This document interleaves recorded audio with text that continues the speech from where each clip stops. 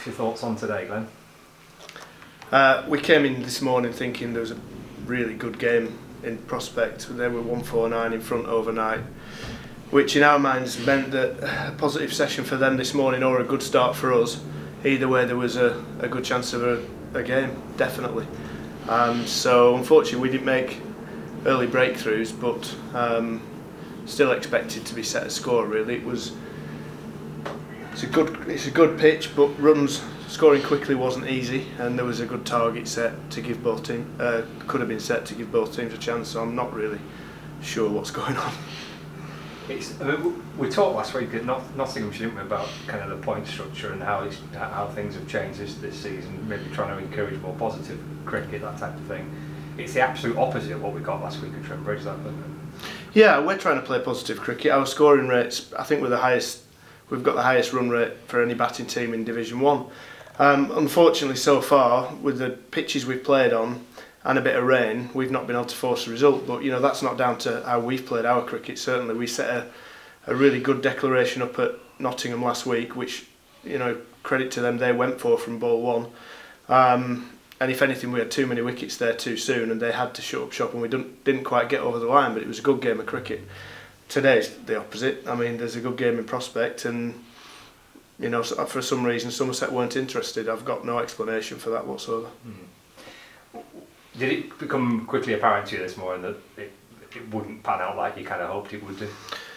Not that quickly, to be honest, because I would have thought 270, 260, 270 from lunch would have been really challenging, but we'd have gone for it.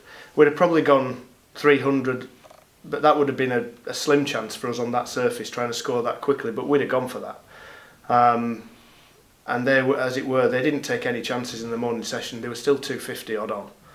It would have taken very little more um, intent from them to get a really challenging target. And and the more you dangle the carrot, the more chance both teams have of winning because we'd have gone all the way at a reasonable chase. So as I say, absolutely no idea what's going on.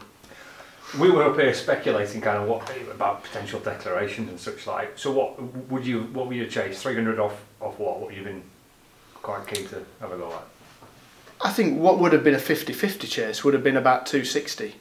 Now we don't expect to be set that, but we'd have gone for anything up to I don't know 320, 330 would have been. But the, the bigger the chase, the more chance there is of you shutting up shop early because it become apparent you can't get them. To make it a really good game of cricket would have been a, a 50-50 split, and you know we scored at just under four and over, maybe 3.6 or something. They scored at 2.2 for 100 overs in the first innings. So again, no impetus whatsoever. Uh, they batted 230 overs in the game. You, you know, I mean, it just looks like we've had two games against Somerset which have, you know, been impossible to, to force results. Yeah, it was the same at Taunton, wasn't it? There's only probably one team trying to win it down there as well. Absolutely, you know that that's the thing, and the challenge for us we see we see games around the country with teams bowled out for 75, 90 odd, 120 games over in two and a half days. Now, I'm sure we might be involved in some of those later on in the season, but so far um, that hasn't happened. And the intention for these for the point system is for teams to play on good surfaces and go out there and play attacking cricket and score runs quickly. That's absolutely not happening. All we have is some teams desperate for result at any cost, and others not. We mentioned about trying to take 20 wickets here and win and win games games of cricket, you said you might leave a little bit more in the pitch this week, and just, just on, on the, the pitch here, how do you rate the? Well, the pitch play, I mean, there, there was life in it early. We got a good start, and you know, the early part of the game is something that we look at. We've played reasonable cricket here, but for us, we know we can play better. So we had them four down early on. We drop catches.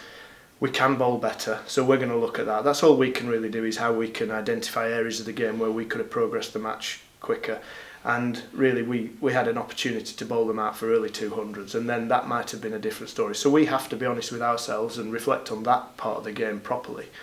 Um, I'd rather forget today completely to be honest but you know the early part of the game he was setting up well we could have played better and we'll, we'll look at that.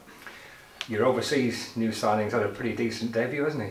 Yeah, superb. I mean, he bowled really well as well, but uh, but the way he played uh, under under a bit of pressure, um, superbly. He showed some intent early on, and then as his innings got underway, his intent ebbed and flowed. But you know, obviously he's in he's in a great great nick, and he's obviously a good signing for us. So I think he's enjoyed three three out of the first four days of his of his Lancashire career anyway. yeah, it might be a bit bizarre for him today. Yeah. Um, obviously, you've been a bowler light as well. Um, what's the situation with, with Jim? Yeah, that was a challenge. I mean, Jimmy bowled really well um, first innings. He's just irritated a groin. Um, you know, I don't think it's anything too serious. We should be positive about his recovery. Um, but obviously, it, he'd done it badly enough not to take any part in the game today, today and yesterday. Does it need a scan or anything like that? Or? Well, that's that's now for, for England to sort out. But um, as I said, it's it, it just seems like a tweak growing to me. It's been you've had obviously him for four games, isn't it now?